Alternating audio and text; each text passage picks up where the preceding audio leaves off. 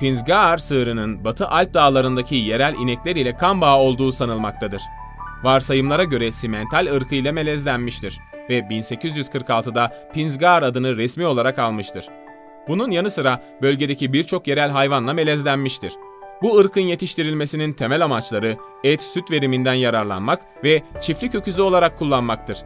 Pinzgar, güçlü boynuz ve vücut yapısından dolayı çiftlik öküzü olarak vazgeçilmezdir. Bu özelliğinden dolayı Avusturya, Macaristan, birçok Balkan ülkesi ve Doğu Avrupa Pinzgar sığırı ırkından faydalandı.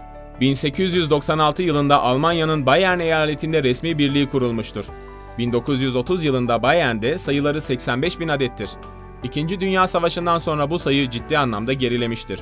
1969 yılı itibariyle bu ırk daha fazla süt artışı sağlamak için kırmızı Holstein ile melezlenmiştir. 1990 yılında Bayern'de toplam 101.880 adet Pinzgar ırkı görülürken 2001 yılında Almanya'da 360 adet kalarak kırmızı alarmla nesli tükenen hayvan listesine alınmıştır. 1991 yılında Avusturya'da Pinzgar sığır ırkı 70 bin adetle ülkenin sığır sayısının %4'ünü oluşturmaktaydı. Zaman içinde 13 bin adet melez Pinzgar sığırı kalmıştır. Günümüzde ise dünya çapında 1.3 milyon adet civarı kaldığı sanılmaktadır. Görünüm ve verim özellikleri Safkan rengi kızıl beyazdır. Nadiren siyah beyazı görülmektedir. En belirgin özelliği boynuz, sırt, kuyruk dibi, meme, karın altı ve döş çizgi gibi beyazdır. Erkek ve dişileri boynuzludur. Cidago yüksekliği erkeklerde 140-147 cm, dişilerde ise 130-137 cm'dir.